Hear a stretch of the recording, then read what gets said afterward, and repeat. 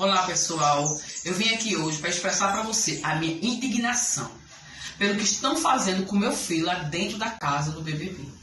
Gente, eu nunca vi meu filho desse jeito. Meu filho revoltado dessa forma. Meu filho foi criado em igreja. Meu filho tem princípios. Meu filho foi criado com amor e carinho no meio das irmãs. Tá certo?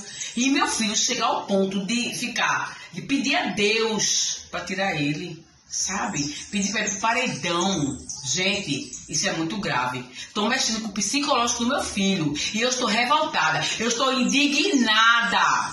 Sabe? Sabe uma mãe indignada com ódio? Sabe ver aquele povo mexendo com a mentalidade do meu filho. Um menino que viveu a vida estudando. Agora tá lidando com um bando de cobra, de gente ruim, miserável. É difícil ver.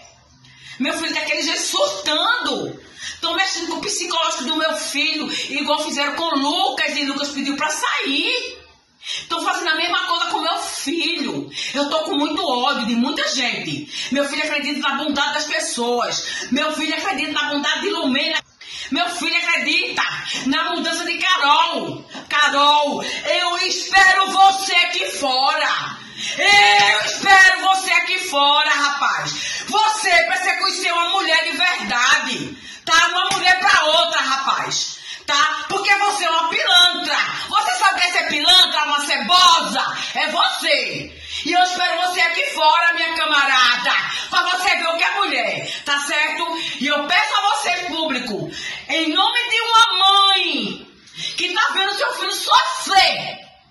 Apoie meus filhos, apoie meu filho, por favor, gente. Apoie meu filho, que eu estou aqui fazendo esse vídeo com muito, muita indignação. Tá certo? Muito obrigada a vocês pelo apoio de vocês, tá? Muito obrigada.